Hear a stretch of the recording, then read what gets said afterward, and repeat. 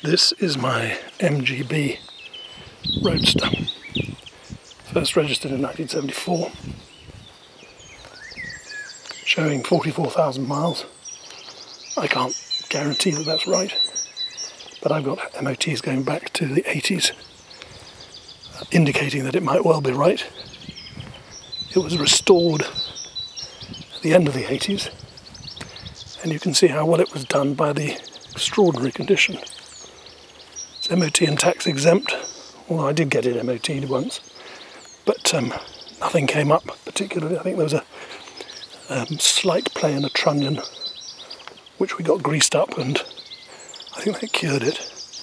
We've had the rear brakes relined and had a new servo fitted because the seal inside the servo split, which is a common enough fault with them, but it's pretty alarming when it happens because basically the engine sucks in all the brake fluid and suddenly you have no brakes.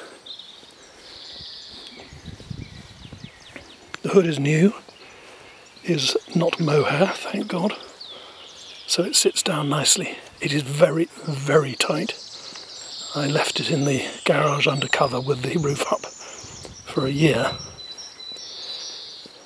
and um, it's still tight but that will obviously loosen up you can see how well the panels have been done leather seats veneer dashboard Sorry about that, my battery died. But it's been very well veneered, beautifully done. It has the uh, Moto-Lita steering wheel, which is the riveted one, not the glued one. And the trim on the top of the dash, again, has been done beautifully. It's a very solid car, very, very solid car. And it drives very nicely.